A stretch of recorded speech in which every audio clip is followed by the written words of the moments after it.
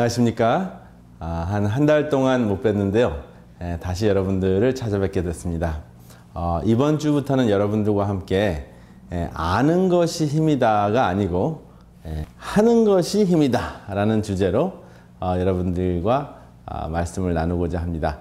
아, 아는 것은 어, 머릿속에 있는 것이고 하는 것은 실제적으로 예, 삶의 변화를 어, 주는 것이죠. 그런데 그것을 알면서도 예, 새로운 어, 정보를 듣는 것으로만 만족하고 실천을 하지 않는다면 예, 아무런 아, 의미가 없으리라고 생각합니다. 오늘은 어, 이제 여름철을 맞이하여서 이제 그 빛에 대해서 말씀을 드리려고 합니다.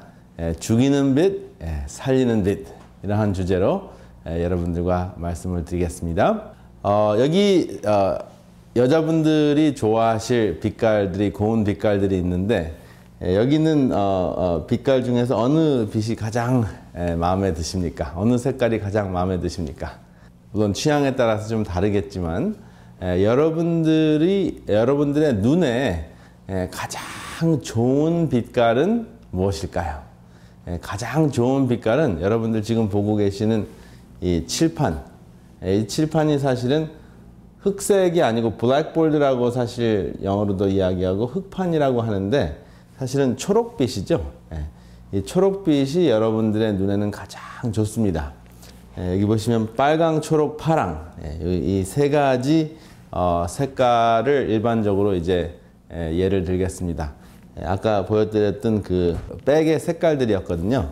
이제 빨간 색깔은 강도가 이제 40이 되고 초록은 20, 파랑은 1. 그래서 사실은 이 중간쯤, 예, 이 중간쯤 되는 그 가마세포, 이 가마세포가 자극이 됐을 때 예, 가장 예, 눈이 편안합니다.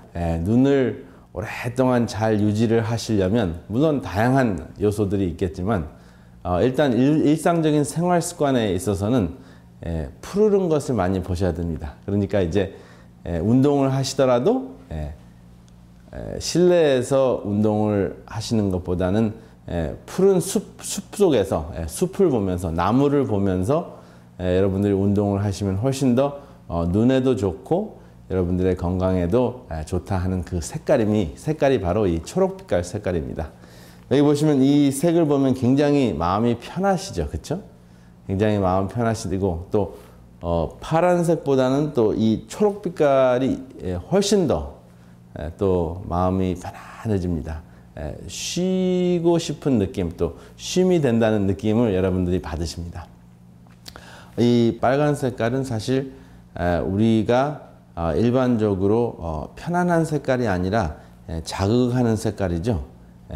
놀래거나 또 뭔가 그 정신을 똑바로 차려, 차려야 될 때 이제 빨간 색깔이 이제 우리 어, 마음 속에는 기억에 남습니다. 아, 그래서 이제 정지해야 될 때는 이제 빨간 신호, 그리고 이제 갈 수 있을 때는 초록 신호, 초록빛 또 녹색 빛입니다. 그래서 여러분들이 이제 그 빛에 대해서 이제 상식적인 그 내용들이 좀 있는데요. 사실 우리가 보는 그 빛이라는 것은 어, 우리 눈이 볼 수 있는 빛은 어, 다양한 색깔이 있지만은 어, 근본적으로 무지개 빛깔 색깔 안에 있는 그 색깔, 색깔을 우리가 감지해서 그 주파수를 감지해서 눈에서 이제 다양한 색깔 어, 색깔로 봅니다. 그렇죠? 다양한 색깔을 섞어 가지고 이제 우리가 아, 이게 이런 색이다 저런 색이다 하고 이제 빛깔을 이야기를 하는데 사실은 빛이라는 것은 반사된 에너지입니다. 그렇죠? 색깔이라는 것은 이제 반사된 빛인데 과학에서는 이 빛이라는 것을 어, 생각했을 때 자줏빛 그죠? 파란색 예, 그 다음에 예, 자줏빛으로 가면 갈수록 예, 주파수가 높아지고 어, 그리고 에너지가 강해지고요. 오른쪽으로 가, 갈수록 붉은색으로 가면 갈수록 예, 에너지는 약해집니다. 예, 그렇지만 이제 예, 정신적으로 몸속에서 아 이것은 조심해야 되겠다라고 이제 경각심을 주는 색깔은 에너지가 낮은 빨간색이고 그다음에 에너지가 높은 색깔 중에서 이제 중간쯤 되는 색깔 이 색깔은 우리를 우리의 마음을 편안하게 해주는 예, 색깔입니다. 예, 이제 여름철에 여러분들이 이제 피부의 노화에 대해서 신경을 많이 쓰시는데요. 에, 그 자외선 때문에 그렇습니다. 그죠? 자외선이라는 것은 아까 말씀드린 대로 에너지가 굉장히 높습니다. 우리가 볼 수 있는 가시광선, 가시광선 그거보다 훨씬 더 에너지가 가, 어, 강한 그 어, 빛이 그러니까 눈으로 볼 수 없는 빛이 에, 자외선이라는 것인데요. 자외선은 어, 대표적으로 세 가지가 있습니다. 어, 자외선 A, 자외선 B, 자외선 C가 있는데요. 어, 자외선 A는 어, 노화 현상을 주로 일으키고요. 어, 암을 일으키기도 합니다. 아, 그리고 자외선 B는 어, 여러분들이 이제 아 살이 탔다, 피부가 탔다라고 이야기했을 때 자외선 B를 통해서 어, 그런 현상을 여러분들이 예, 체험하게 되고요. 또 이 자외선 B가 어, 피부를 태우는 정도로 이제 오랫동안 노출이 되면 문제가 되지만 적당하게 한 2, 30분 정도 노출을 하시면 어, 비타민 D가 생산이 됩니다. 그래서 비타민 D를 통해서 다양한 어, 여러분들의 혜택을 얻으실 수가 있습니다. 그리고 자외선 C는 주로 이제 피부암을 어, 유발하는 굉장히 강력한 자외선인데 잘만 활용이 되면 살균 역할을 합니다. 그래서 여러분 어, 어, 한국에서 옛날에는 빨랫줄에다가 물론 미국에서도 그렇게 할 수 있죠. 예, 공해가 심하지 않으면 근데 빨랫줄에다가 여러분들의 빨래를 널으셨을 때 아주 기분이 좋게 잘 마릅니다. 그렇죠? 그리고 살균이 확실하게 돼서 아주 어, 깨끗하고 청결하고 균이 예, 거의 예, 없는 그러한 그 옷을 여러분들이 어, 입으실 수가 있는 것이 바로 이 자외선 C 때문에 그렇습니다. 그러니까 사실 자외선 A나 B나 C가 사실 몸에 인체에 해롭다고만 볼 수는 없고요. 그 역할이 있습니다. 아, 그런데 그것이 지나쳤을 경우에 문제가 되고 또 결핍됐을 때도 문제가 됩니다. 아, 그래서 이 자외선 A와 B와 C를 어, 우리가 잘 이해하는 것이 좋겠습니다. 가시광선보다 훨씬 더 에너지가 강력한 어, 빛입니다. 눈으로 볼 수 없는 빛입니다. 아, 그런데 이것이 음, 사실 죽이는 빛이 될 수도 있고 에, 살리는 빛이 될 수도 있는데 에, 지나치게 이제 햇빛을 쪼이는 것은 에, 우리에게 죽이는 빛이 되는데요. 무엇이 지나친 빛인지 한번 보겠습니다. 어, 사실 A, B, C가 모두 다 아, 죽이는 빛이 됩니다.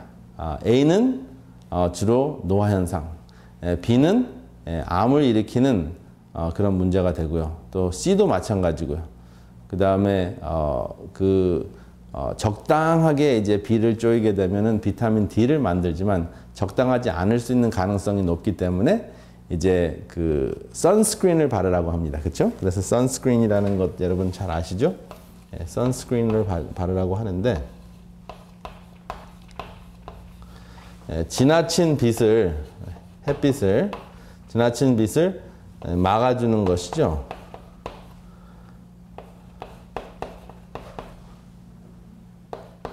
막아주는 막이라고 할 수 있겠습니다. 그렇죠?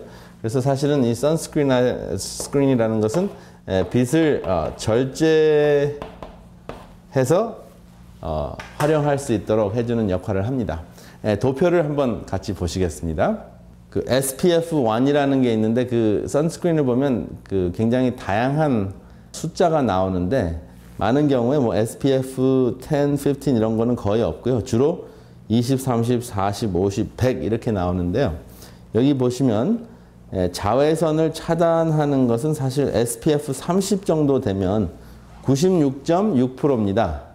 아, 그리고 이제 40으로 올라가도 97%밖에 안 되고 50으로 올라가도 98%. 그래서 30에서 54에는 약 1% 정도밖에 차이가 안 나기 때문에 예, 거의 30 정도만 해도 큰 차이가 없습니다. 근데 이제 확실하게 99, 99.9%를 막아야 되겠다라고 생각하시면 이제 SPF 100을 어, 쓰시면 어, 되죠. 그런데 이제 일반적으로 30 정도만 바르시면 좋은 것이요. 그 30이라는 그 숫자를 기억하기가 좋습니다. 30. 그래서 어, 보통 선스크린을 어, 바르라 그러면은 바깥에 나가기 바로 직전에 바릅니다. 그런데 그것은 어, 가장 좋은 효과를 얻지를 못하고요. 어, 바깥에 나가기 전, 외출 전 30분. 30분에 예, 바르시는 것을 생각하시면 됩니다. 예, 그리고 약 30cc 온몸에 바를 때는 한 30cc 정도를 어, 바르십니다. 예, 30cc라는 것은 이제 30ml 정도 되죠. 30cc는 어, 여러분들의 그 손, 손에 이제 좀 어, 그 온폭 이렇게 파이게 예, 손을 이렇게 예, 잡으셨을 경우에 예, 꽉 채워가지고 이제 얼굴에도 바르고 팔에도 바르고 이제 다리에도 바를 수 있는 그 정도가 됩니다. 그래서 333을 기억하시기 바랍니다. 그러면은 이제 효율적으로 에, 그 지나친 자외선을 차단할 수도 있습니다. 어, 그런데 이제 에, 여기 이제 여러분들이 그러면은 어, 비타민 D는 어떻게 되냐? 에, 에, 비타민 D는 어떻게 되냐라고 이제 말씀을 하시는데 에, 차단이 되긴 하지만은 이제 이런 경우에는 어, 한 1시간, 2시간, 3시간 정도 햇빛을 햇빛에 노출하게 됐을 경우 그런 경우에는 이제 에, 사실 어, SPF 30이 되는 선스크린을 바르셔도 어, 이제 에, 어느 정도 후에는 이 비타민 D를 생산할 수 있는 자외선을 충분히 접하게 됩니다. 아, 그래서 예를 들어서 1시간, 2시간 후에는 다시 한번 바르셔야지 사실 보호는 됩니다. 어, 야외에 나가서 이제 소풍을 나갔거나 또 하루 종일 야외에 있을 경우에는 에, 선스크린을 바르시는 것이 노화 현상을 에, 현저하게 감소시킬 수가 있습니다. 아, 그래서 이제 그렇게 이제 염두에 두시면 어, 도움이 아, 되십니다. 어, 그리고 여기 이제 그 다음 어, 화면을 보시면 노화 현상에 대해서 이제 좀 어, 설명을 어, 드릴 수 있는 화면이 나오는데 보시면 에, 검버섯이 있죠, 그렇죠? 검버섯이 왼쪽에는 꽤 심하고 이제 오른쪽에는 검버섯이 이제 없어진 것을 볼 수가 있는데 이 왼쪽에 있는 이 검버섯이 바로 이제 노화 현상이죠. 예, 노화 현상인데 여기 오른쪽 그 도표에 보면 텔로미어라는 것이 있습니다. 예, 텔로미어. 어, 제가 텔로미어에 대한 이야기를 많이 하는데요. 여기다 쓰겠습니다.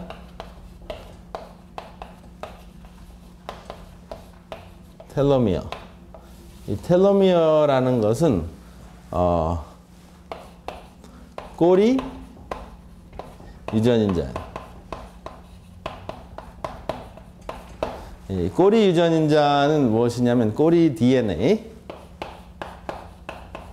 예, 꼬리 DNA라고 할 수 있는데요. 사실 그 끝에는 DNA가 있기 때문에 예, 사실 아, 우리가 아, 그 병이 들었거나 문제가 생겼을 때 바로 죽지는 않습니다. 근데 이 꼬리 DNA가 어, 그 짧아지면서 어, 우리 세포가 재생할 수 있는 가능성을 점점 점점 잃게 됩니다. 그래서 여기 처음에는 이제 이 꼬리 유전인자가 점점 점점 점점 짧아지면서 어, 이제 이것은 어, 노화 현상이 일어나고 그다음에 짧아지는 것이 이제 더 이상 그 다시 복원이 되지 않았을 경우에는 예, 생명을 잃게 되고요. 그 다음에 문제가 생겨가지고 짧아지지 않고 계속 길어지는 세포가 있는데 그 세포는 이제 암세포가 됩니다. 그래서 이제 노화 현상이 생기면서 어, 아예 세포가 죽든지 아니면은 어 망가진 상태로 계속 세포가 번식할 수 있게 하는 그 암세포의 그런 기능을 갖게 되는 그 두 가지 현상이 일어납니다. 그래서 나이가 들면서 세포가 아, 또 장기가 없어지든지 그 기능이 상해지, 상하든지 아니면 어, 상하는 것은 이제 좀 지연이 되지만 암으로 진행이 되든지 예, 그두 가지 예, 가능성이 있습니다. 그래서 이 가능성을 예, 막기 위해서 특별히 피부 차원에서 막기 위해서는 여름철에는 이 어, SPF 30 최소한도 그 정도 되는 선스크린을 바르시면 좋고요. 그 다음에 일반적으로 어, 피부에 따라서 다르지만 어, 피부가 기름진 분, 어, 기름기가 많이 있으신 분들은 어, 그 water based 여기 보시면은 water based라는 것이 있고요. 그 다음에 oil based라는 것이 있는데 예, 바르시면은 어, 피부가 기름진 분들이 바르시면 오히려 더 미끌거려서 불편합니다. 아, 그래서 될 수 있으면은 이제 water based SPF 선스크린을 바르시면 어, 바르시고 난 다음에도 전혀 예, 그 불편하거나 예, 그 느낌이 나쁘지 않은 아, 그런 그 크림을 어, 사용하시길 바랍니다. 그 다음에 이제 어, 빛이라는 것이 굉장히 중요한 역할을 합니다. 그 자외선을 지나치게 오래 쬐면은 어, 이것이 예, 노화 현상을 일으키고 그 다음에 암까지 일으킬 수 있는 문제가 되지만 예, 적당하게 쪼이면 예를 들면 예, 비타민 D를 생산하기 위해서는 약 20분 정도 쪼이시면 되고요. 선스크린을 바르셨을 경우에는 뭐 1시간이나 2시간 정도 어, 쪼이셔야 되겠죠. 그런데 이것은 피부와 어, 어, 제가 다음에 지금 말씀드릴 것은 피부와 상관이 없이 에, 눈에 밝은 그 빛을 쪼이시면 그러면 어, 이 우울증을 막을 수 있는 이 세라토닌이 에, 분비가 된다 하는 것입니다. 어, 그래서 이제 이 세라토닌이라는 것이 얼마나 중요하냐면 어, 여러분들이 이제 이 TV 방송을 보시는 분들은 어, 어, LA에 계시는 분들도 많고 그 다음에 도심지에 계신 분들이 많이 있으시잖아요. 그래서 바깥에 에, 가시기가 좀 꺼려지시는 분들이 많으실 거라고 생각을 합니다. 그래서 바깥에 나가시는 것이 힘드시더라도 창문이라도 여시고 어, 그 햇빛을 좀 보이시, 보시는 게 눈으로 이렇게 보시는 게 굉장히 중요한데요. 햇빛을 어, 피부로 쪼이시면 비타민 D가 생기고 눈으로 보면은 에, 세라토닌이 분비가 되는데 이 세라토닌 분비가 결핍이 되면 에, 잠을 못 잡니다.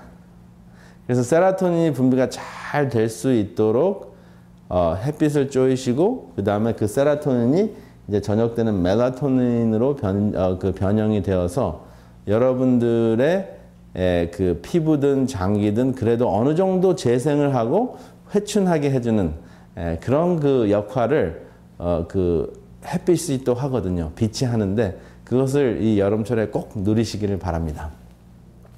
어, 특별히 어, 우울증인지도 모르겠고 또 우울증은 아닌데 잠을 못 잔다, 불면증이 있다 이러한 분들은 에, 햇빛을 충분히 쪼이시지 않고 또 운동을 아, 안 하셨을 가능성이 높습니다.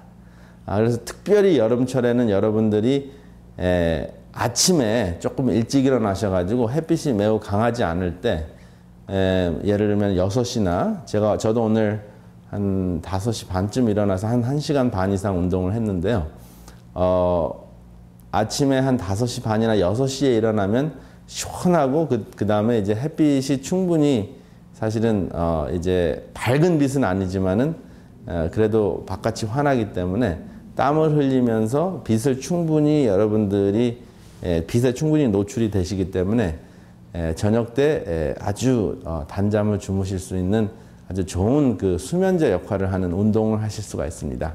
아, 그래서 그냥 평지를 걸으면 재미가 없으니까 어, 그 크게 어, 그 무릎이나 관절이 심하시지 않은 아, 관절염이 심하시지 않은 분들은 될수 있으면은 이제 언덕을 오르시고 그 다음에 같이 두세 분이 같이 걸으시면서 어, 운동한다고 생각하시지 말고 그냥 예, 아침 공기도 마시고 빛을 어, 어, 쪼으신다는 차원에서 그냥 걸으시길 바랍니다. 예, 등산이 굉장히 좋습니다. 왜냐하면 예, 어, 여러분 요즘에는 마라톤도 많이 하시고 또 조깅도 많이 하시는데 예, 여러분들에게는 특별히 그 무릎 관절에 예, 위험 요인이 될 수 있기 때문에 예, 다양한 근육을 움직이고 예, 다양한 그 어, 압박을 주는 예, 그 언덕 그렇죠 등산 어, 그런 그 운동이 훨씬 더 예, 전인적인 건강 생활에는 더 좋습니다.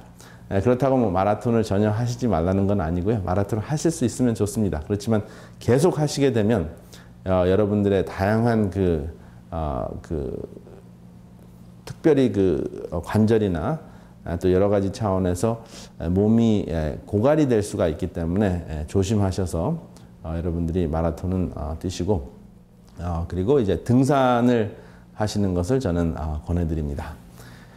여기 그 숙면을 취하려면 숙면을 취하려면 이 멜라토닌이 꼭 필요한데 예, 이 멜라토닌은 저녁 때 여러분들의 망가졌던 세포를 어, 재생해서 여러분들을 회춘하게 해준다 하는 이야기를 제가 아, 늘 합니다. 아, 그런데 이제 특별히 여러분들을 어, 젊어지게 할 수 있는 철이 왔는데 바로 이것이 여름철입니다. 멜라토닌이 많이 나오게 할 수 있는 아주 효과적인 방법은 바깥에서 햇빛을 충분히 쪼이시고 또 햇빛을 쪼이기 쪼이면서 충분히 여러분들이 이 세라토닌의 원료를 드시는 것이 좋은데 그 세라토닌의 원료에 대해서도 말씀을 드리겠습니다. 어, 여기 멜라토닌과 세라토닌과 트립토판이라는 그 세 가지 물질이 있는데요. 어, 제가 말씀드린 대로 이 멜라토닌은 세라토닌에 의해서 만들어지고 또 세라토닌은 트립토판에 의해서 만들어지는데 트립토판은 여러분들이 드시는 식물에 많이 들어 있습니다. 식물 중에서 가장 좋은 식물이 무엇일까? 아, 무엇이냐 하면은 이제 그 다양한 그 콩 종류, 아, 그 다음에 그 두유도 좋습니다. 아, 근데 특별히 이제 대두, 콩 중에서는 대두가 가장 에, 효과적입니다. 그래서 여기 보시면 빛을 통해서 이제 식물이 만들어지고 그 식물을 통해서 여러분들이 트립토판을 드시고 그 트립토판이 세라토닌, 멜라토닌으로 이렇게 변형이 되면서 여러분들의 회춘을 촉진시키는 그 물질이 나오는데 참 재밌는 것은 빛은 두 가지 역할을 합니다. 식물 원료, 식물 속에서 트립토판이라는 원료도 만들기도 하고 그 다음에 그 빛은 이미 만들어진 세라토닌을 눈이 밝은 빛을 봤을 때 예, 그 만들어진 세라토닌을 분비하는 역할을 하기 때문에 어, 이 빛이라는 것은 여러분들 삶 속에 굉장히 중요한 예, 살리는 예, 아, 빛이라고 여러분들이 기억하시면 좋겠습니다. 그래서 빛을 보지 않으면 나는 어, 어, 생명을 잃는다라고 생각을 하시면 좋겠습니다. 어, 일반적으로 누우면은 죽고 걸, 어, 움직이면 산다, 걸으면 산다. 또 빛을 보면 산다. 아, 빛은 생명이다 하는 생각을 아, 이 여름철에 꼭 기억하시고 충분히 빛을 어, 쪼이시기를 바랍니다. 어, 최고 자살률이 예, 높은 10대 미국 어, 도시를 한번 살펴봤는데요. 어, 빛을 생각했을 때 어떤 도시가 가장 자살률이 높을까요? 예, 빛이 전혀 없고 항상 비가 온다는 시애틀일 것 같죠? 그런데 자살 미국에서 자살률이 가장 높은 곳이 예, 라스베가스입니다. 그 다음에 두 번째가 예, 콜로라도입니다. 시애틀이 아직 안 나오네요. 그 다음에 예, 아리조나, 투산 아리조나. 그 다음에 4위 세크라멘토, 5위 알버콜키, 뉴멕시코, 아리조나, 마이애미, 덴버 쭉그 다음에 10위가 위치타 10위 안에도 안 나왔습니다.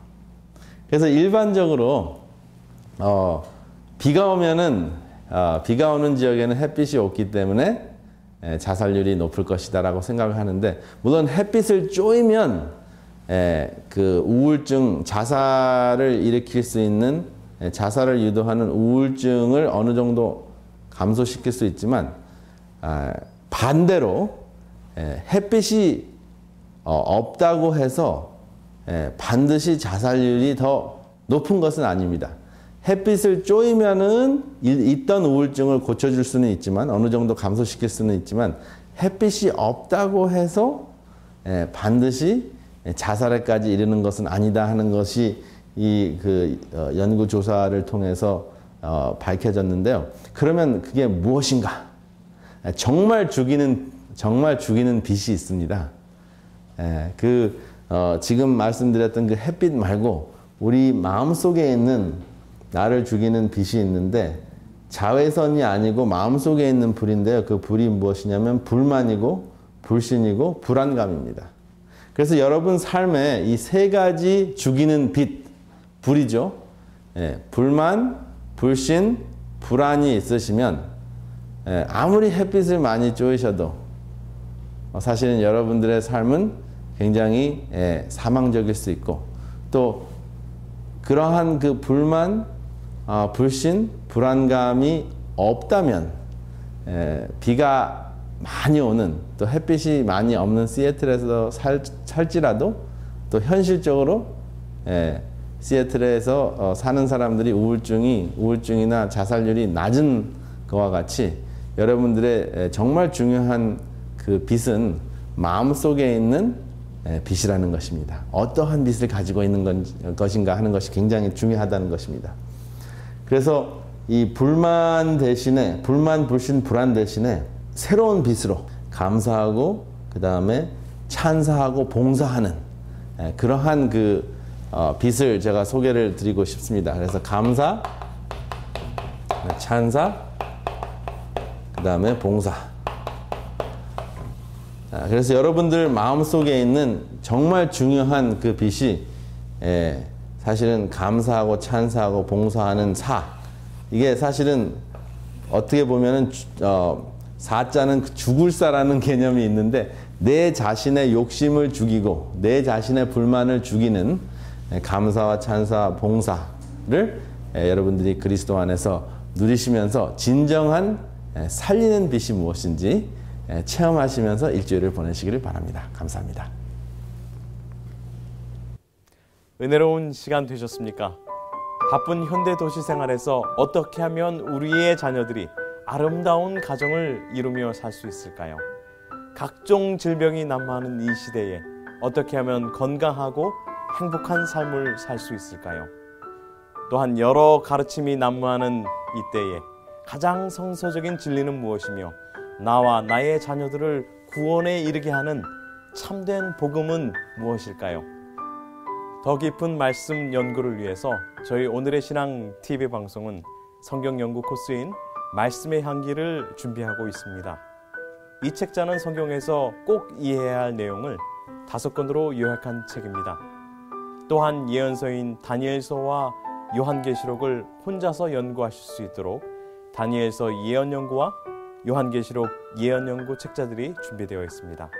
이 책자를 신청하실 분들은 아래의 전화번호 562-405-2806번으로 연락 주시기 바랍니다.